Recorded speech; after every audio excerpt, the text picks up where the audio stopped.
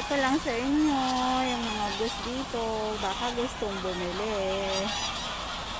Ganyan sila.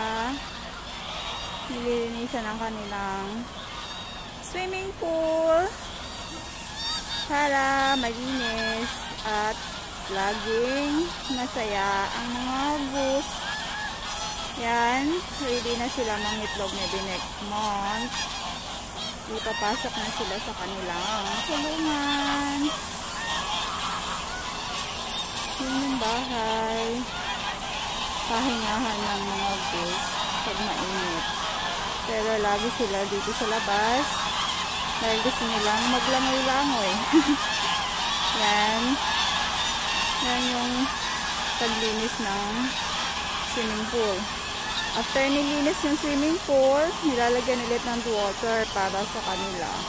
Everyday yan para malinis. At tuwing magpapakain, dinadagdagan ng tubig. Ganyan sila. Ang happy-happy nila. Mas healthy na sila ngayon.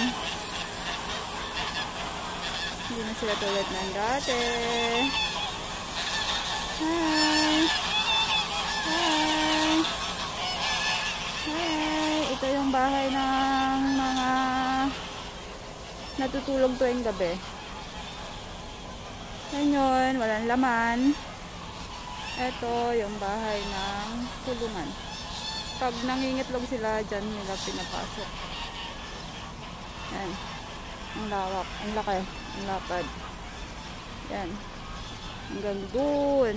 Yan. Dalawang bahay na yan.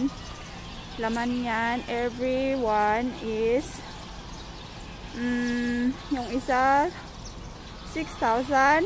Yung isa 4,000 head. Hanggang doon. Mamaya papakita ko sa inyo doon. Meron pa. Yan. Ito, ito yung isa. Yan yung lagay ng pagkain. Kasi lahat automatic. Then, yan. Pahingahan. Pahingahan ng mga... Pero ito, yung bagong style. Bagong style ng tulungan. Para hindi mapasukan ng mga ibon. Ganyan. Itong hindi siya ano, white goose. Parang black siya. Mas masarap yung karne niya. Mas masarap yung karne nila.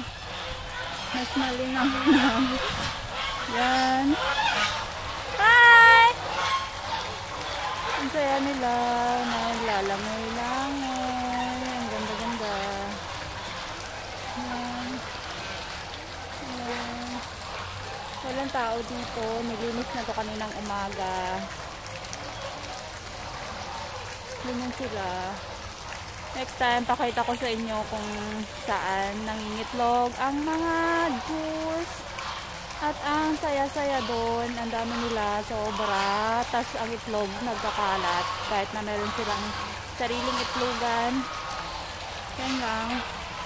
Yan lang, yan lang, yan lang, yan lang. Meron pa dun sa baba, mas malawak. Pero, next time ko na lang doon pasukin kasi ang layo, ang init.